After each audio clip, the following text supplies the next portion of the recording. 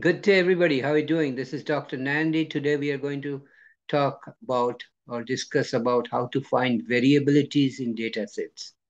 Okay, so I'll share my computer screen with you.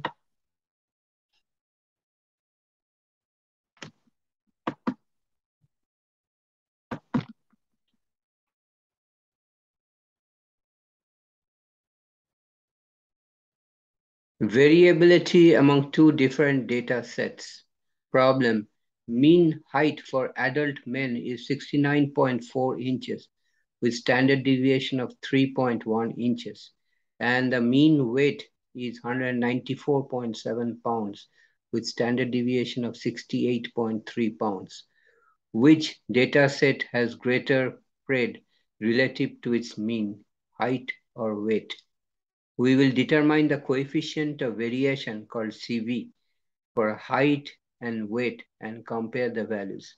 Now CV for height is standard deviation divided by mean or 3.1 divided by 69.4 which is 0 0.045 and CV for weight is equal to sigma divided by mu that is standard deviation divided by mean 68.3 divided by 194.7 is 0.351. So CV for weight is greater than CV for height. The data set for weight are has greater spread relative to mean. So the variability in the weight is 35.1% relative to its weight, and the variability in height is 4.5% relative to its mean. So therefore, the data set for weight has greater spread relative to its mean since its CV is higher.